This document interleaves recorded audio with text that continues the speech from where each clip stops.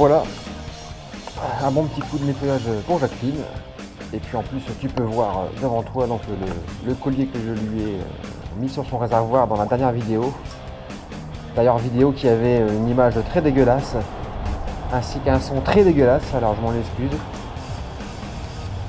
Ah, décidément, euh, on va arriver à trouver quelque chose de, potable. J'y travaille au niveau de son image.